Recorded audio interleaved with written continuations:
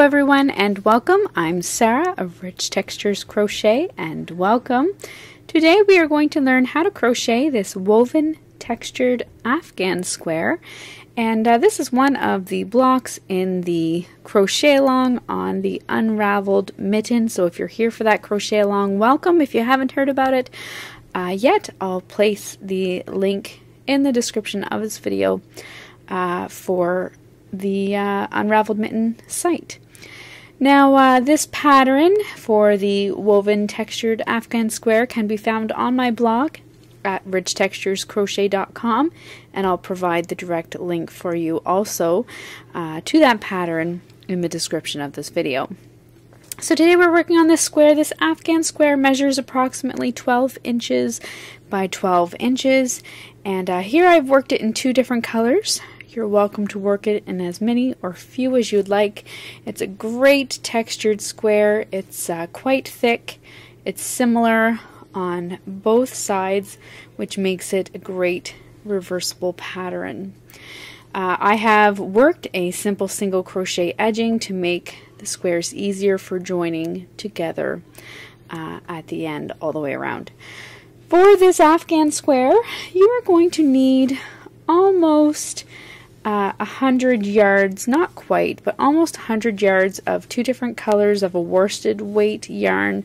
I'm using the Paintbox yarn Simply Aran colors, uh, color number 235, as well as color number 204.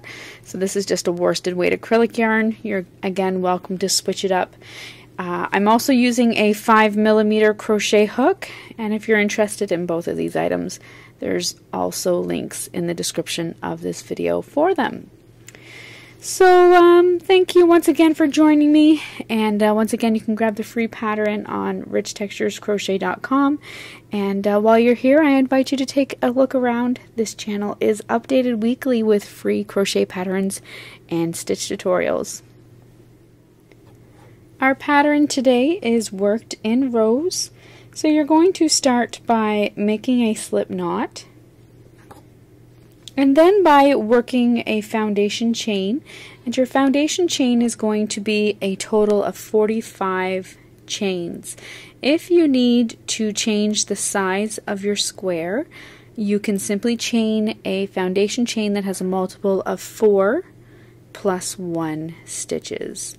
So today I'm going to go ahead and chain 45.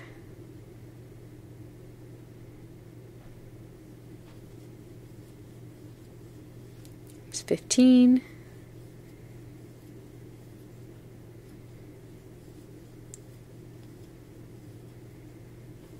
Twenty-five.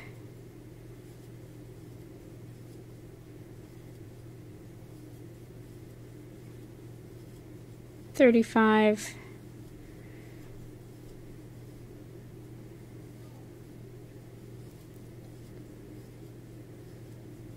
and 45. Now, uh, my square, I have started using, uh, working my foundation chain in my color A. If you are working it in more than one color, and my color A is this blue color here. Once you have worked your foundation chain, you're going to then single crochet into the second chain from your hook. Count in one, two, I like to work into the back bumps of my chain. It gives a nice finished edge on the other side. So you're going to single crochet into that second chain and then into each chain all the way across.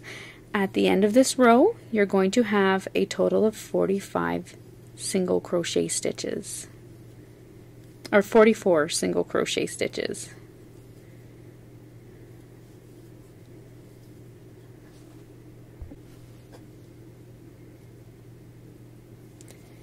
At the end of your row 1, you'll have 44 single crochet stitches.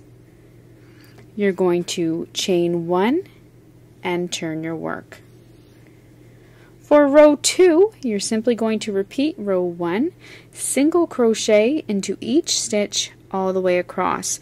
Your chain 1 does not count as a stitch, so be sure to work your first single crochet into the top into the stitch uh, that's at the base of that turning chain. So single crochet into each stitch all the way across. When you work your last stitch, you're going to change to your color B. If uh, you'd like, meet me back here when you get to the end of the row and I will uh, show you how to do that. At the end of row 2, uh, you're going to come to your final stitch and as mentioned earlier, you're going to want to switch to your color B.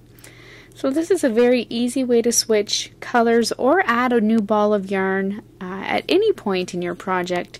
This is the way that I prefer to do it. What you're going to do is I haven't worked that last stitch yet. It's the stitch prior to the uh, next stitch where I'd like the new color. So what I'm going to do is I'm going to insert my hook for a single crochet and I'm going to yarn over and draw up a loop. I'm still using my color A there. I'm then going to drop my color A, pick up my color B, which is this light silvery gray, and place it on my hook.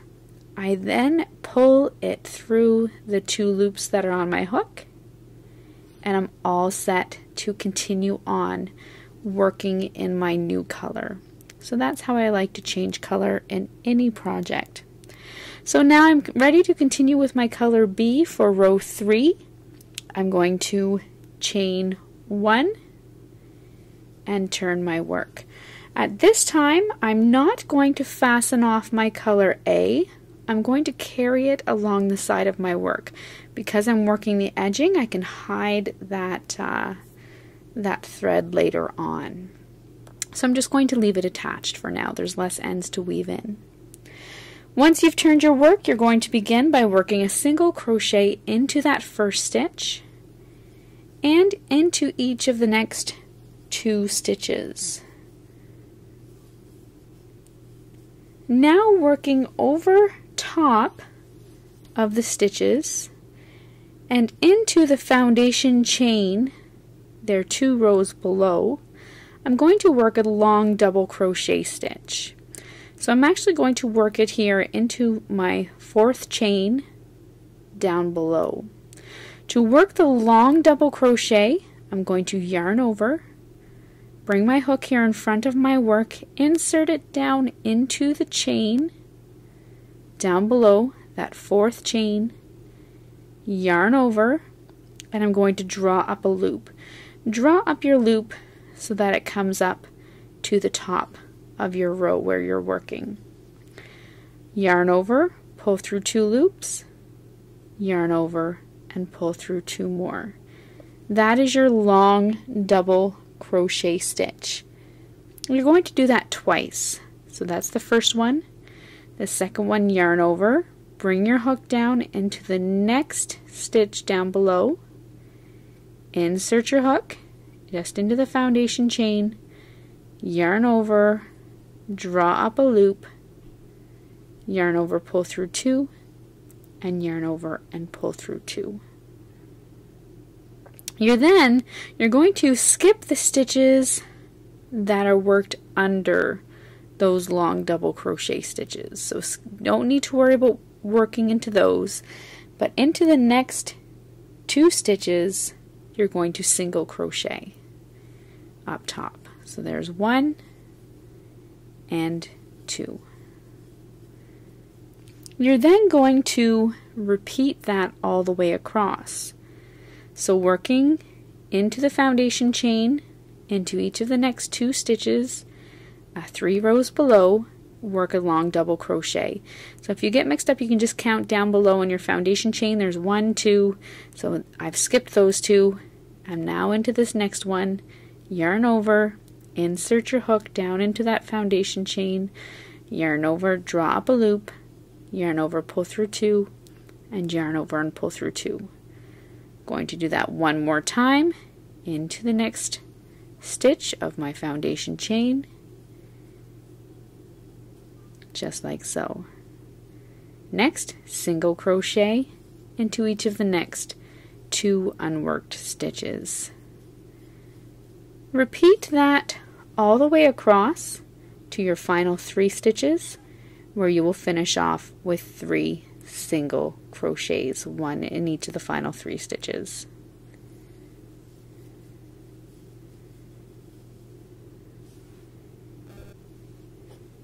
I'm here at the end of my row 3, working a single crochet into each of the final three stitches.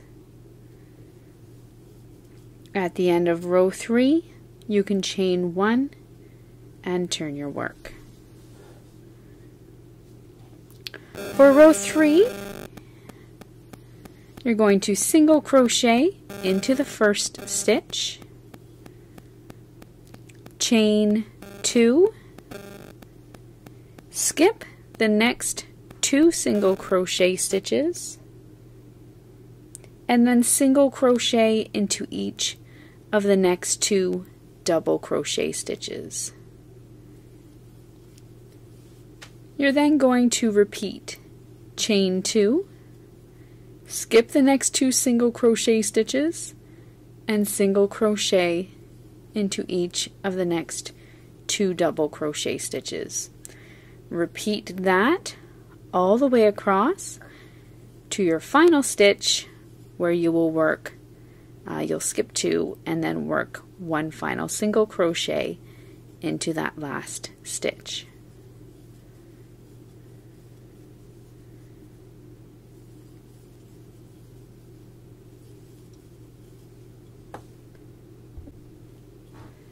I'm at the end of my row 4 I'm going to chain 2 skip 2 and single crochet into that final stitch and actually this time I'm going to want to switch back to my color A so I insert my hook yarn over and drop a loop drop my color B pick up my color A and bring it up place it on my hook don't pull your color A too tight because you don't want it to cause the fabric to buckle, but I'm just pulling it up there along the side, placing it on my hook, and pulling it through. And then I'm all set to begin row 5. For row 5, I'm going to chain 1 and turn my work. I'm then going to single crochet into that first stitch now working over that chain space and over top of the stitches there in the next row down. So into the row that's below my last, uh, my first row that I worked there in color B. So into the row three rows below, I'm going to work my two double crochet stitches. So all the way down underneath that stitch, insert your hook, yarn over, draw up a loop, pull it up to the same height, yarn over, pull through two, yarn over, pull through two. You're going to do that twice. So again, just underneath this last stitch here, three rows below, insert your hook, yarn over, pull through, yarn over, pull through two. You're then going to skip that chain two space in behind and simply uh, chain two Skip these next two single crochet stitches and you're then going to repeat. So I've chained two. I'm now going to work two long double crochet stitches into the next stitch, three rows below, like so, one into each of the next two stitches, chain two, skip the next two single crochets and repeat. You're going to repeat that all the way across.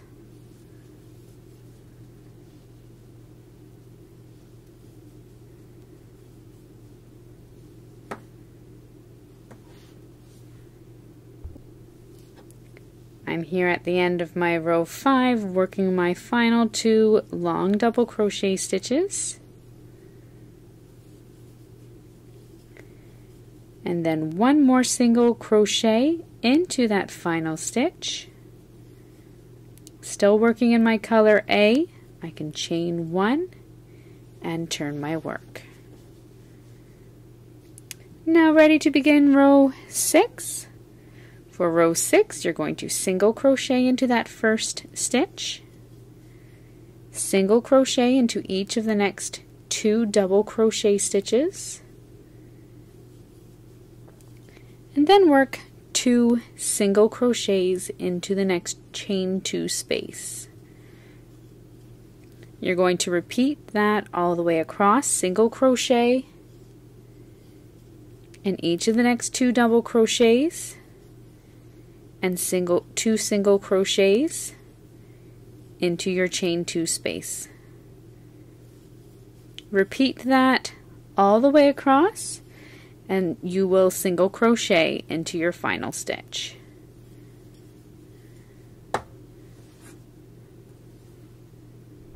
When you come to your final stitch of your row 6 where you're going to single crochet, at this time you're also going to want to change colors, so insert your hook, yarn over, and drop a loop.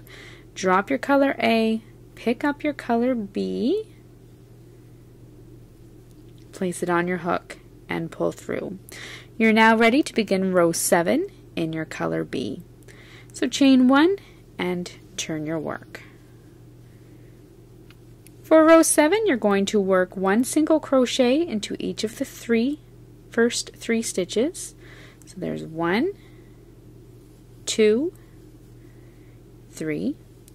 You're now going to work a long double crochet into the single crochet that is three rows below. So working over top of the last single crochet row and your chain two and your long double crochet row just into the tops of the stitches three rows below. So yarn over, insert your hook, bring your hook in front, insert it down into the top of that single crochet three rows below, yarn over, drop a loop, yarn over, pull through two, yarn over, pull through two. Do that once more into the next stitch, three rows below, yarn over, pull through two, yarn over, pull through two. Now working back up top, you're going to single crochet into each of the next two stitches. You're now going to repeat all the way across, long double crochet into the single crochet three rows below. Do that twice. And then back up top, a single crochet into each of the next two stitches. Repeat that all the way across to your final three stitches where you will work a single crochet into each of them.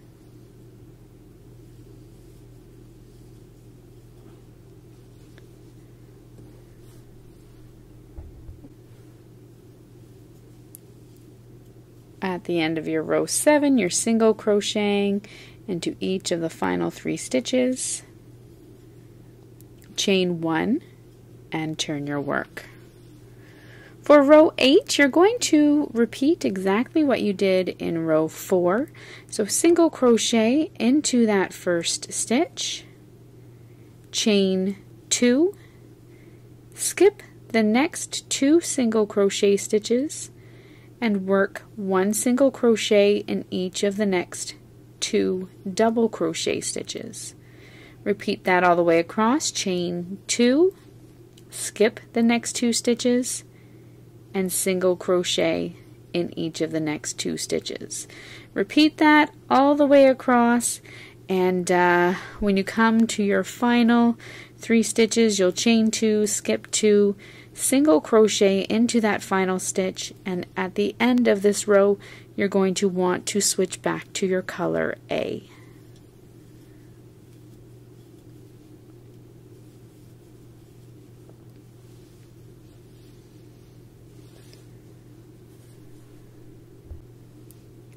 At the end of your row 8, you've chained 2, skip 2, single crochet into that final stitch, switching back to your color A. You can then chain 1 and turn your work. You are now, for the rest of your square, going to repeat rows 5 through to 8 until your work from the beginning measures approximately 11 inches or your desired size. You want it to be nice and square. So go ahead, work rows 5 through to 8.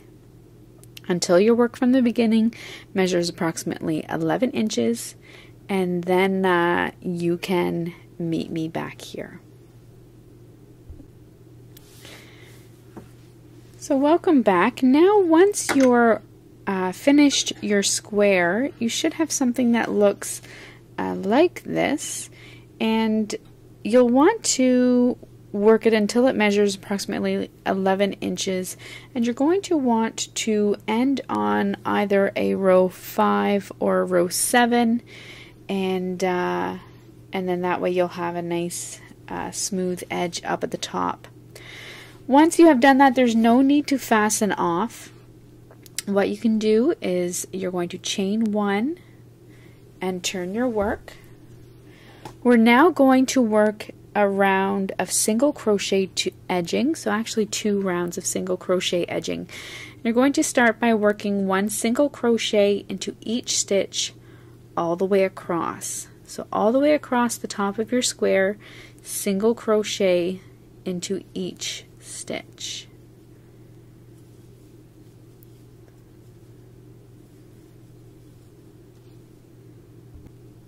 Once you've worked all the way across and you come to that corner stitch, you will work three single crochet stitches all into that same corner stitch. And that's going to bring uh, you around to the other side, to the next side of your work. So single crochet in each stitch across, three single crochets into the corner.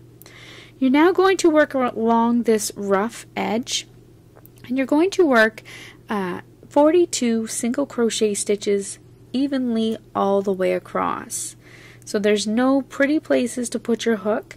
You're just trying to space them out as evenly as you can and working all the way across. If it helps, uh, you can place a stitch marker in the middle and work 21 stitches on one side, 21 on the other.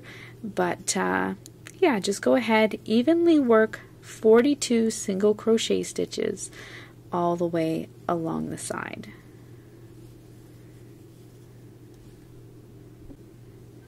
Once you have worked all the way around that along that rough edge and you've worked uh, 42 single crochets, you should be up at your corner stitch. Once again, you're going to work three single crochet stitches into your corner. You're then going to work one single crochet stitch into each uh, it was originally your foundation chain. So one single crochet stitch into each stitch all the way across. You're going to do that to your corner. Once again when you get to your corner you're going to work three stitches into that corner stitch. Work 42 single crochets all along your edge. When you come to that first corner you're going to work uh, two stitches into your final corner down here and join with a slip stitch. So I'll leave you to go ahead, work uh, one single crochet in each stitch across the end, 42 up the side, and I'll meet you back up when we're ready to join at the end of this round.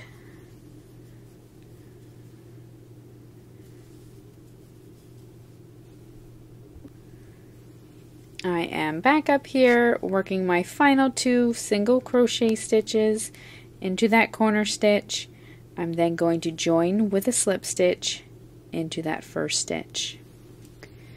Now for the final round of your edging you're going to pretty much repeat what you just did. Chain one, single crochet into that first stitch. You're then going to single crochet into each stitch all the way around, working three single crochet stitches into each corner stitch. When you arrive back up at your first stitch, you can join with a slip stitch into that stitch, fasten off, weave in your ends, and your woven textured Afghan square is complete.